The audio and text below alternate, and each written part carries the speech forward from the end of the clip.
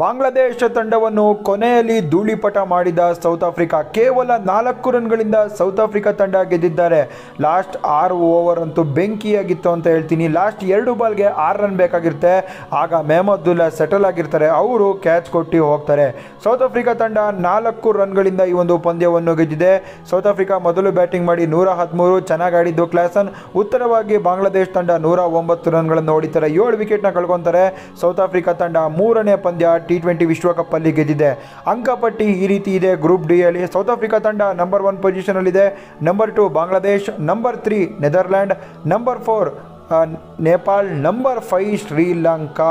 Sri Lanka ತಂಡ official ಆಗಿ ಹೊರಗೆ, ನೆದರ್ಲ್ಯಾಂಡ್ ತಂಡಕ್ಕೆ ಇದೀಗ ಚಾನ್ಸ್ ಇದೆ. ಸೂಪರ್ ಏಟ್ಗೆ ಕ್ವಾಲಿಫೈ ಆಗೋದಕ್ಕೆ ಬಾಂಗ್ಲಾದೇಶ್ ಗೆಲ್ಲುವ ಪಂದ್ಯವನ್ನು ಸೋತೋಗಿದೆ ಬಾಂಗ್ಲಾದೇಶ ತಂಡ. ಕೊನೆ ಗಂಟ ತೊಗೊಂಡೋಗ್ತೀನಿ ತೊಗೊಂಡೋಗ್ತೀನಿ ಅಂದ್ಬಿಟ್ಟು ಒಡ್ಸ್ಕೊಂಡು ಹೋದ್ರು ಟೀಮ್ ಇಂಡಿಯಾ ತಂಡಕ್ಕೆ ಬಂಪರ್ ಲಾಟ್ರಿ ಹೊಡೆದಿದೆ. ಬಾಂಗ್ಲಾದೇಶ ತಂಡ ಸೂಪರ್ ಏಟ್ಗೆ ಕ್ವಾಲಿಫೈ ಆಗಿಲ್ಲ ಅಂದರೆ ನೆದರ್ಲ್ಯಾಂಡ್ ಬರ್ತಾರೆ.